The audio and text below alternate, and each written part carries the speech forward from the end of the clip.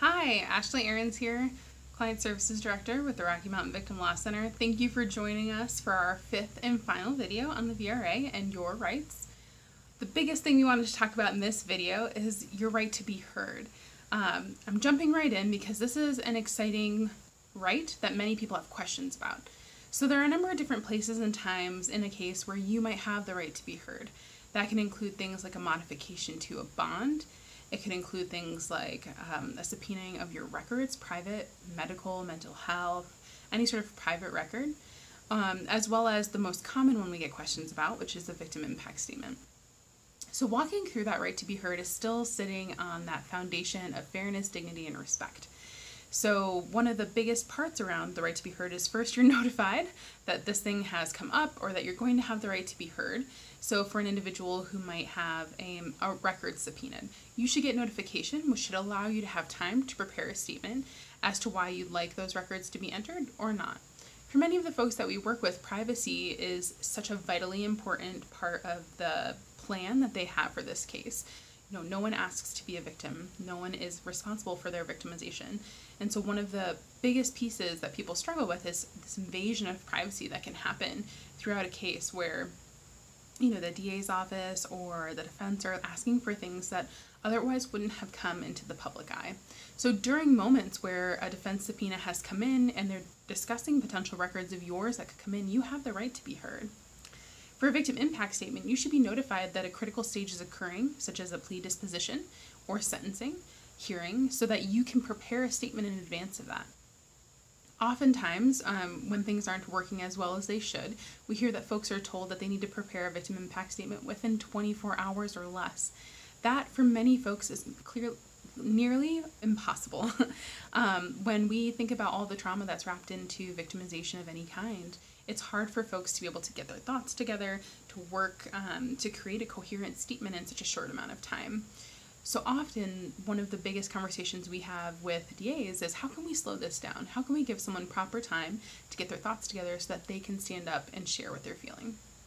So, speaking of standing up and sharing what you're feeling, what ways are people often heard in court?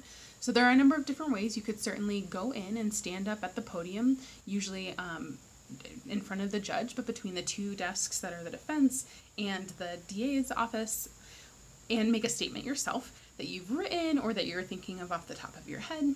You could prepare a letter in advance and turn that into the DA's office or directly to the clerk. Um, you can have someone speak for you. So if you have a written statement that perhaps you don't like public speaking or you know that it'll be too hard for you to get through this, um, you can have someone stand up on your behalf and read it a family member, a friend, a victim advocate. Um, additionally, because we are a law office, we talk about the fact that you can have your attorney stand up and read whatever statement you want or paraphrase on behalf of the conversations that you've had prior with that person. Some other alternative means for providing impact statements or providing the opportunity to be heard are things like Skype or the phone. We know and suggest that you coordinate with your district attorney victim advocate way in advance if you know that that's going to be a problem. Oftentimes, there's a very strict procedure that the court has to follow in order to make sure that phone access or Skype access is available for somebody. You really want to start that ball rolling as early as possible.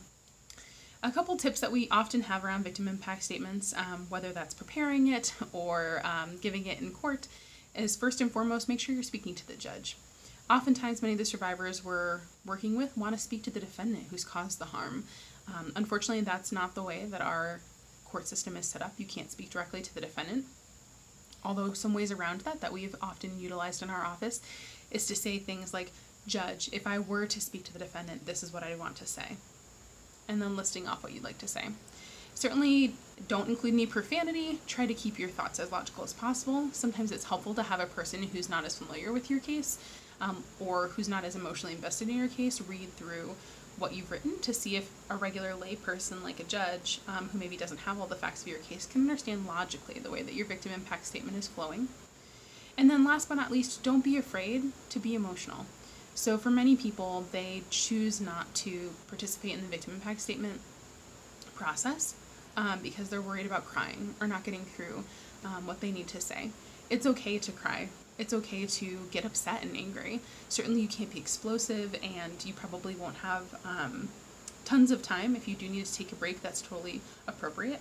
But we absolutely want to make sure that you know that you know, crying or getting upset or struggling to get through something so important is one, not uncommon, but also shouldn't preclude you from giving that statement. There are a lot of opportunities, I think, um, for the victim impact statement or any sort of um, survivor statement to make a difference in the case. I've certainly seen that happen in my practice, and we get that question a lot. How important is this? Um, how much of a difference will it make? And while we can't ever guarantee that you will change the perspective of the DA or that the defendant is going to hear what you've said and change their mind or behavior, it's certainly an opportunity to be heard in a way that's unique to the the sentencing process or to the plea disposition process in a way that you wouldn't, for example, be heard in a trial. If you have any questions about victim impact statements, subpoenas, privacy, um, bond modifications, please don't hesitate to reach out to our office. As I've mentioned through all of the videos about the VRA, we are certainly here for consultation and connection to ensure that you get as much information as you need to make well-informed decisions about how you want to move forward with your case, how you want to enforce or or act on your rights, um, and certainly so that you can be treated with fairness, dignity, and respect throughout the tenancy of a criminal case. Again, I'm Ashley Ahrens. You can look forward to our next set of videos coming in the next few weeks, and we appreciate you sticking with us and joining us for these five videos to know your rights about the Victim Rights Act.